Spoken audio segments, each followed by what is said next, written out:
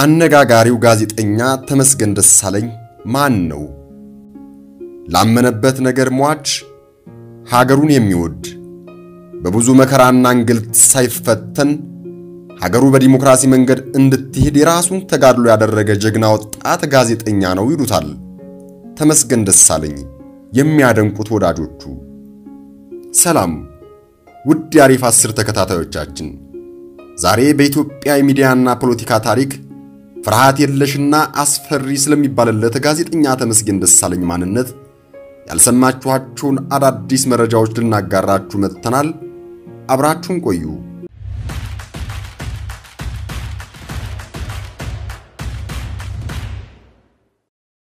አንደኛ ትውልድና እድገቱ። ጋዜጠኛ ተመስገን ደሳለኝ በ1971 ዓመተ ምህረት አዲስ አበባ አራት ኪሎ አካባቢ ተወለደ። የአንደኛ ደረጃ ትምህርቱን ጥበበ መንገድ እስጢፋኖስና ኢትዮጵያ አንድነት ትምህርት ቤቶች ተምሯል። የሁለተኛ ደረጃ ትምህርቱን ደግሞ በዳግማዊ ምኒልክ ትምህርት ቤት ተከታትሏል።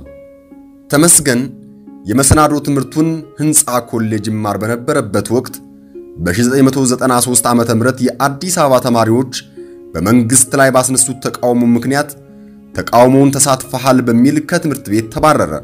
ተመስገን ከሕንፃ ኮሌጅ ሲባረር ወደ ኮሜርስ በማምራት በ accounting ዲፕሎማውን የተማረ ሲሆን በመቀጠልም አዲስ አበባ ዩኒቨርሲቲ በመግባት በታሪክ ትምህርት ዲግሪውን አጠናቀቀ። ተመስገን ወደ ጋዜጠኝነት ከመግባቱ በፊት ጥቂት ወራት ዲፕሎማውን በተማረበት በ accounting በኦዲተርነት የሰራ ሲሆን የኋላ ኋላ ግን ይህ ስራውን በመተው ፊቱን ወደ ጋዜጠኝነት በማዞር ፍትህ ጋዜጣን መስርቶ በዋና አዘጋጅነት በመስራት በመንግስት ትዕዛዝ ፍትህ ጋዜጣ ሲዘጋበት በተከታታይ አዲስ ታይምስ፣ ልዕልና ጋዜጣና ፋክት መጽሔት በማቋቋም በ managing editor ነትና በጸሐፊነት ቢሰራም እነዚህ መጽሔቶችም በመንግስት ከፍተኛ ጫና እንዲዘጉ ሆነዋል። ተመስገን አሁንም አልተሰበረም። ፍትህ ጋዜጣ ላይ የታተሙትን ጽሑፎችን በአንድ ላይ በመሰብሰብ በ2004 ዓመተ ምህረት የመለስ አምልኮ የተሰኘ መጽሐፍን ያሳተመ ሲሆን ከዚህ በተጨማሪም ጊዜ ለኩሉና የፈራ ይመለስ የሚሉ መጽሐፎችን ማሳተሙ ይታወቃል። እንዲሁም ከነ እስክንድር ነጋ ጋር ደግሞ በጋራ በመሆን የህዳሴ አብዮት የተሰኘ መጽሐፍንም ለንባብ አብቅቷል። ሁለተኛ ተመስገንና እስር። ተመስገን በሚጽፋቸው ጽሑፎች ምክንያት በተደጋጋሚ ለእስር የተዳረገ ሲሆን በጊዜው በእስር ላይ ሳለ ብዙ እንግልትና የጤና መታወክ አጋጥሞትም ተስተውሏል። በጋዜጠኛው ላይ በመንግስት በኩል ይነሱ ከነበሩ ክሶች መካከል በ1996 ዓ.ም ተሻሽሎ የወጣውና የኢፌዴሪ የወንጀለኛ መቅጫ ሕግ አንቀጽ 257 መተላለፍ ጠቅሰው የሚያቀርቡት ሲሆን ክሶቹም ወጣቶችን በሀገሪቱ መንግስትና ሕገ መንግስታዊ ስርዓቱ ላይ እንዲያምፁ የመገፋፋትና ግዙፍ የሆነ የማሰናዳት ተግባርን የመንግስትን ስም ማጥፋትና የሐሰተኛ ውንጀላ እንዲሁም የሐሰተኛ ወሬዎችን በማውራት ሕዝብን በማነሳሳት ወይም አስተሳሰባቸውን ማናወጥ የሚሉ ክሶች ይገኙበት ነበር። በእርግጥ ይህ ሁሉ ክስ የይስሙላና በመረጃ ያልተደገፈና የሰውን የመናገር መብት የተጋፉ እንደሆነ ብዙዎች በወቅቱ ድምፃቸውን አሰምተው ነበር። ታዲያ ይህንን ድምፅ ጆሮ ዳባ ልበስ ያለው መንግስት ተመስገንን ለረጅም ጊዜ በአሰቃቂ እስር አሰንብቶትም ነበር። ብዙ ጊዜ በጽሑፎቹ ርዕሶችና በሚጠቀማቸው የሽፋን ስዕሎች ልዩ መለያው አድርጎ በውስጥ ይዘቱ ደግሞ ጠለቅ ያሉ መረጃዎችና ሚስጥሮችን ከትንታኔ ጋር በአስገራሚ አገላለጽ እንደሚያስቀምጥ ብዙዎች የሚመሰክሩለት ጋዜጠኛ ተመስገን ደሳለኝ የሦስት ዓመት ፍርዱን ጥቅምት 3 2010 ዓ.ም ቢጨርስም በወቅቱ ሳይፈቱ ከሁለት ቀን ረሃብ አድማ በኋላ ከእስር መውጣቱ ይታወሳል። በወቅቱ የእስር መፈቻ ጊዜው መዘግየቱን ተከትሎ የሚከተለውን ሐሳብ ሰጥቶ ነበር። እነሱ ምንም አይነት ምክንያት የላቸውም። ፍርድ ቤት ሦስት ዓመት ቢፈርድብህም እኛ ብንፈልግ አስር ዓመት በእስር እናቆያለን የሚል መልእክት ለማስተላለፍ ነው። ከፍርድ ቤት ትዕዛዝ ውጭ ለሁለት ቀን ያቆዩኝ ስትወጣ በሚኖርህ እንቅስቃሴ ላይ ለማሸማቀቅና ለማስፈራራት ሆን ብለው ያደረጉት ሴራ ነው። ዛሬ ውጣሉኝ። ለምንድን ነው የምወጣው? ሁለት ቀን አልፎኛል ብል አይ ጨርሰሃል፣ ብትወጣ ይሻልሃል ሲሉኝ ያው እስር ቤት ውስጥ አልወጣም ማለት ስለማልችል ለቅቄ ወጣሁኝ ብሏል። ተመስገን ከእስር ከወጣ በኋላም ከወገብና ከጀርባ ህመሙ ትንሽ እንደተሻለው ወደ ቀድሞ ስራው በመመለስ የፍትህ መጽሔት ማሳተም በመጀመር ብዙ ወቅታዊና አነጋጋሪ የሆኑ ጉዳዮች ላይ ጥልቀት ያላቸውን ጽሑፎች ለአንባቢ ማቅረቡን ቀጠለ። ሶስተኛ ምስክርነት። ስለ ተመስገን ደሳለኝ ብዙዎች በተለያዩ ጊዜ አስተያየታቸውን ሰጥተዋል። ጥቂቶቹን እንመልከት። የቀድሞው ኢትዮጵያ ፕሬዝዳንት ነጋሶ ጊዳዳ በ2004 ዓ.ም የሚከተለውን አስተያየት ሰጥተው ነበር። ከአቶ ተመስገን ጽሑፎች ውስጥ የተገነዘብኩት ተመስገን መረጃዎች ላይ የተመሰረቱ ሐሳቦችና ሂሶች እንደሚያቀርብ ነው። በጽሑፎቹ ተመስገን ደፋርና ለሀገራችን የወደፊት ዕጣ ፈንታ በጣም ተቆርቋሪ መሆኑን በግልጽ እናያለን።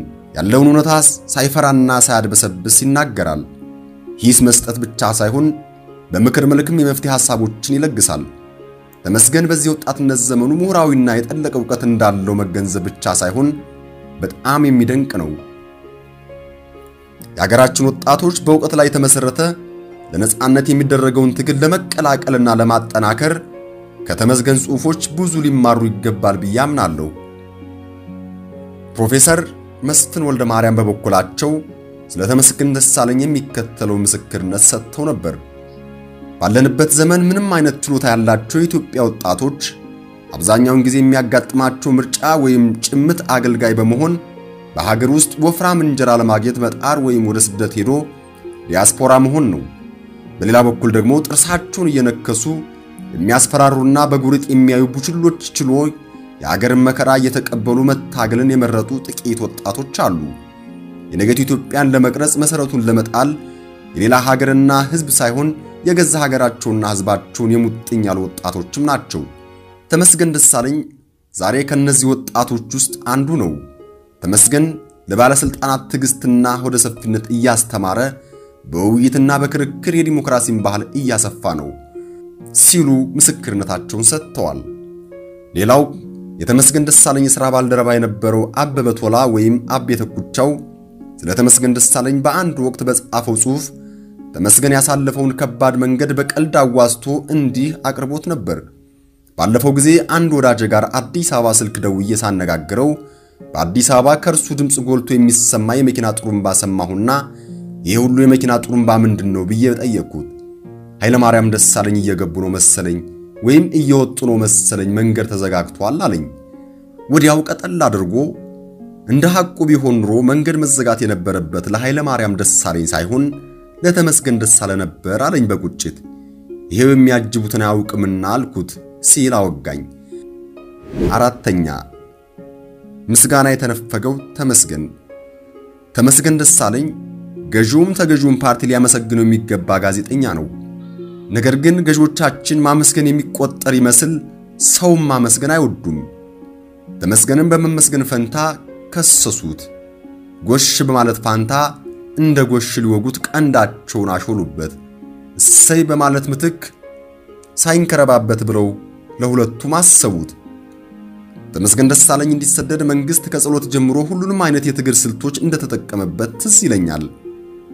ለምሳሌ ባለፈው ጊዜ ምንም አይነት የቀጠሮ ወረቀት ወይም መጥሪያ ሳይሰጠው በራዲዮ ተመስገን ደሳለኝ በሌለበት የፍርድ ሂደቱ ታየ።